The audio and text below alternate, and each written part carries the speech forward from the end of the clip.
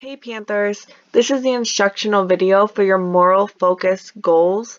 This is a Monday assignment, but you're actually not going to be physically turning it in on Google Classroom until Friday.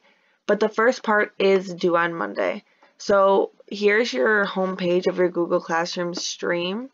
If I click to the classwork page and I go down to the moral focus topic, there should be a, assignment called Moral Focus Goals of the Week.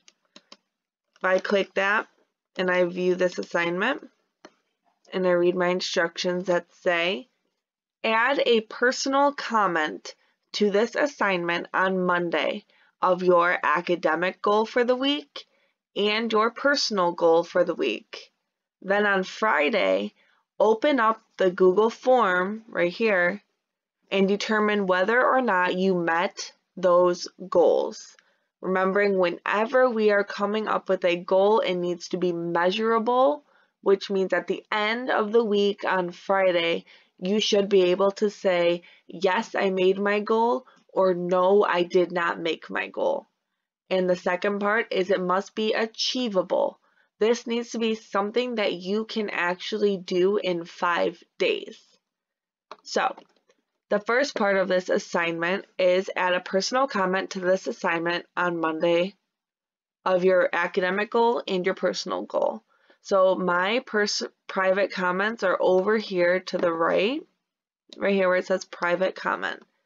I'm going to write in this comment box my academic goal for the week. Reminder that academic means relating to school or school work. So my academic goal for the week is to stay on schedule with the lesson plan. And then I'm going to say my personal goal for the week is to help my mom do the dishes every day. So before I submit this, I need to check that they're both measurable and achievable. If that's correct, then you are going to submit that. Now, once you add this private comment, you uh, I will be commenting back. So that's why this first part has to be done on Monday. And also when you're setting goals, you need to set that on Monday so you have something to work for all week on Friday. So you just went through your entire week. You are back on your Google Classroom homepage. You just tuned in to our 11 o'clock whole class Skype meeting and you came on your Google page to finish up those moral focus goals. So we can go back over to classwork, topic down to moral focus, and here's my assignment. So for Friday, hmm, I am going to open up this Google Forms and I am going to determine whether or not I met my goals. So before I open up this form, I'm going to make sure I reread my goals. Right now I'm posting as Kelvin. Um, my academic goal was to stay on schedule with the lesson plan. My personal goal was to help my mom do the dishes every single day. Okay, so on Friday, then I'm going to open up my Google form. I'm going to write my name.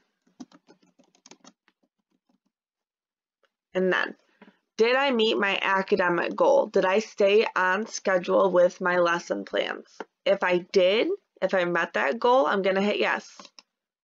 And then hit next. If I didn't, I'm going to hit no. These are going to prompt you to two different questions. So if I hit yes, we are going to go to what is one thing that helped you achieve this goal? What's one thing that helped you achieve your academic goal? And if you did not meet that goal, you're going to hit no. And you're going to get prompted to, what are you going to do differently next week to achieve that goal? So with whether you achieved it or you did not, you are going to be answering this que question.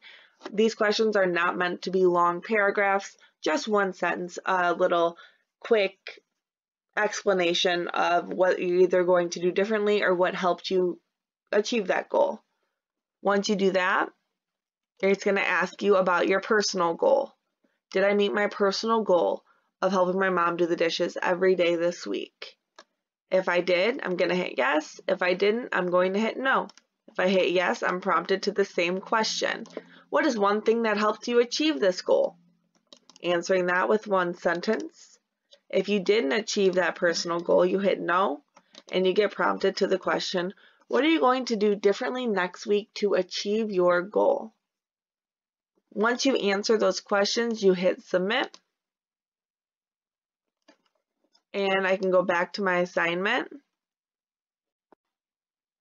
Oops. Once I hit, I hit submit and I can go back to my assignment. And over here, I can press mark as done. You don't have to attach anything because I'll be able to see on this Google form whether you completed it or not. So these are how to complete the moral focus goals. Reminder, the first part is due on Monday, but you're actually turning in this Google form on Friday. Good luck!